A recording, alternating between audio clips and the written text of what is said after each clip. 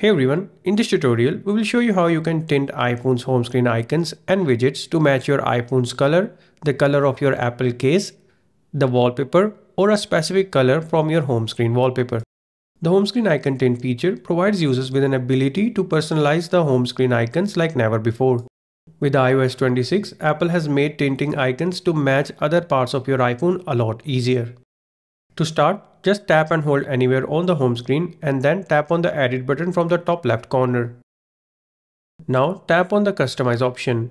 This will open the home screen customization menu. Here tap on the tinted option.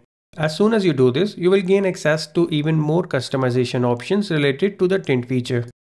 Now you can select your desired colors from the sliders or tap on one of these buttons. The first button will match the tint of the icons with the color of your iPhone. As you can see, my icons have changed to match the desert titanium color of my iPhone 16 Pro Max. This second button automatically matches the tint of the icons with your iPhone's case.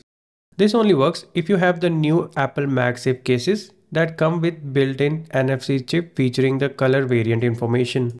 If you have one of those, then your icons will change to match their color when you select this option. The next button will match the tint with your home screen wallpaper. The last button gives you access to the eyedropper tool, which lets you select a specific color from your wallpaper and gives the icon that color's tint. Make sure to experiment with different shades and switch between light and dark modes so you can select the best look for your home screen. That's it. This was our look at the new tint features of iOS 26 and how you can add a tint matching your iPhone's color, your case's color and colors of the wallpaper. If you like this video then be sure to hit the like button and subscribe to our channel for more iPhone tips. Thanks for watching.